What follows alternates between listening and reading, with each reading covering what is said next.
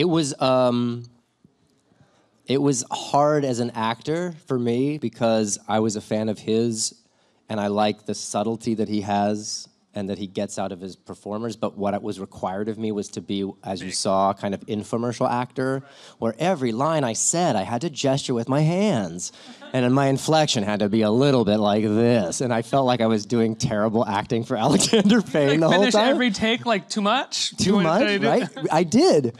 And thankfully it was Laura Dern because she's great and he knows her. And so we actually hung out the day the night the day before we filmed the scene and we talked and had drinks and we kind of came up with this random backstory. Because theoretically what you're seeing is what the adult uh, the full-size people get to see as part of the pitch when they go to Leisureland.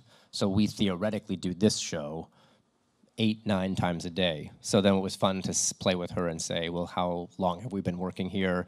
And are we really friends? And are we really a couple? Or are we just actors? So we none of that's in the movie. None of that was even written in the movie. We were just playing around. But Uh, it's the stuff that makes you feel comfortable going into a scene the next day when you have to and not it. just feel like you're doing shammy, sham wow acting. Yeah. and sitting in your head going, "Why am I doing this? What do you want me to do?" Please hire me for another job or I don't have to just do this all the time.